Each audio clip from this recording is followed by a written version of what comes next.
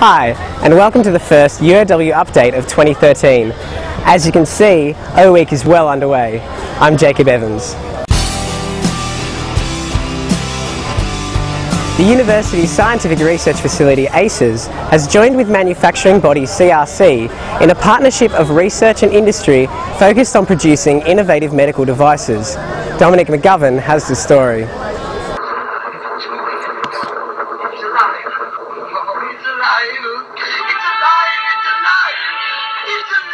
Piecing together a human body has long been fodder for fiction. The reality is, science has become so alive that it can now three dimensionally print human tissue. It's just one of the many results the Australian Centre for Electromaterial Science and its ally Advanced Manufacturing CRC hope to achieve by combining research and manufacturing in Wollongong. ACES Director Professor Gordon Wallace says the alliance will further the groundbreaking research being undertaken and will direct it into industry. This partnership with CRC for advanced manufacturing will enable us to take our discoveries, very fundamental discoveries, through a very effective uh, integrated conduit uh, into the Australian manufacturing sector. Senator Kate Lundy says the University of Wollongong's research and industry partnerships will benefit the Australian economy. That cross fertilisation of ideas and, and for applied uses of their research and their technology, I think augurs really well, not just for jobs in Australia, but for the kind of businesses we're going to need to keep our economy growing. Science fiction is fast becoming science fact. Technology is being used to print bones and tissues for human transplant testing. Hollywood may not have been so mad after all. Dominique McGovern, UOW The University Vice Chancellor, Professor Paul Wellings, is in his second year at Wollongong and we sat down with him to talk about what he expects to be a busy year.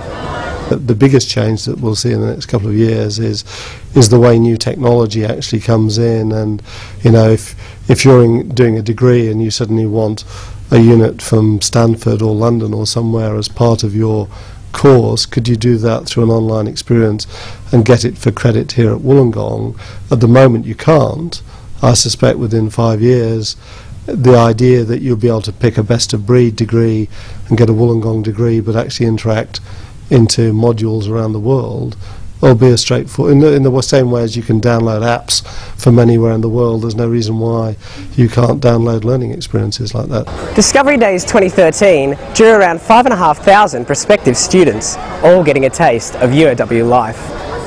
We've got students from as far north as Tamworth, um, and then the rest are local schools. Tomorrow we've got schools from Wagga Wagga, we've got schools from Griffith, um, and as far south as Wodonga. Early feedback says more than 90% of the students improved their perception of the university and would consider studying here. It's O Week, and that means a chance to settle in before the academic year begins. The Centre for Student Engagement has a full week planned. We have a festival from 12 to 3 every day. Uh, so we have DJs, free entertainment, uh, the jazz band are coming in on the Tuesday. Uh, we also have a pool party that's going on on Tuesday afternoon at the Urack Pool. Wow, Wednesday looks like one not to miss it's very exciting. We're having Space Cowboy come in. Um, he's been um, known to be on Australia's Got Talent. We have a contortionist, Ben DM, and she can maneuver herself into a small box. And we also have Psycho Sam, who's going to be a popping robotic dancer as well, so he's sure to entertain everybody. New students trying to set up home on a budget have some goodwill coming their way. Goodwill Hunting provides students with second-hand household goods to help make the move easier.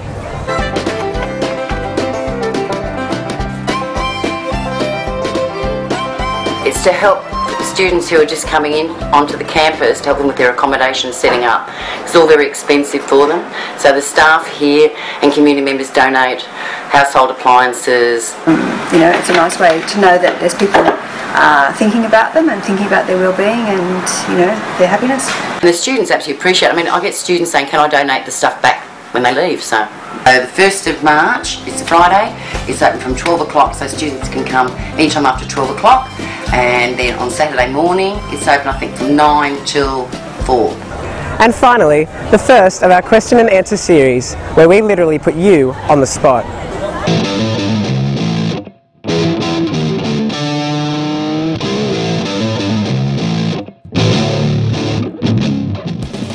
Have you heard of the Student Services and Amenities Fee? I've heard of it, yes. Um, I know what they are. Like, I know I'm paying them, but I don't really know what they're for or anything. Uh, kind of. I don't really know what it's about, but yeah, I've heard of it. Uh, all I really know is that we just had to pay another fee, and I'm not going to lie, I just chucked it straight on HECS. What kind of things would you like to see it spent on? Good question. Um, Coming from a creative arts background, I'd like to see it go into that, but um, I'm very biased, so. I noticed it put more computers into the library, actual better ones, rather than shitty laptops. Am I allowed to say that? maybe into library opening times, maybe being a little bit later during session just when it's not exam times, maybe the lowering of coffees, which is really important. I play squash, so I'd be keen for like cheaper squash courts. I think it'd be good to be spent on something that will um, help everybody rather than just a small group of students, but I don't really know what that is. And that's our first update of the year. I'm Jacob. Have a great O week.